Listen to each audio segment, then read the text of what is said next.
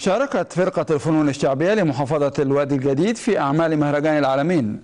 وقالت الأستاذة ابتسام عبد المريد مديرة فرع ثقافة الوادي الجديد إن الفرقة قدمت عروضا مختلفة من الفن الشعبي الأصيل الذي يمثل تراث واحات الوادي الجديد.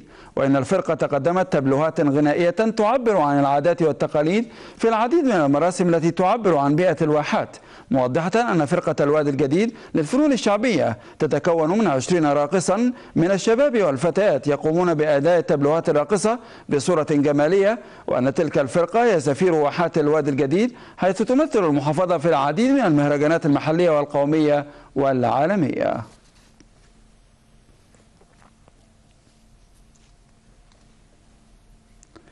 في محافظة الأقصر أطلق محافظها المهندس عبد المطلب عمارة شعلة النسخة السابعة والخمسين من بطولة الجمهورية للشركات من أمام معبد الأقصر في حضور نخبة من قيادات المحافظة ووزارة الشباب والرياضة.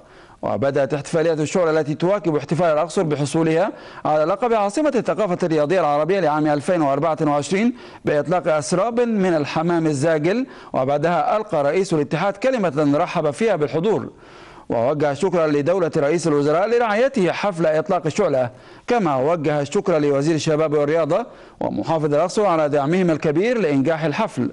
ووجه الدكتور أشرف صبحي وزير الشباب والرياضة التحية للحضور والشكر لمحافظ الأقصر على ما قدمه من دعم لإنجاح فعاليات الأقصر عاصمة للثقافة الرياضية العربية وحفل إطلاق شعلة بطولة الجمهورية للشركات.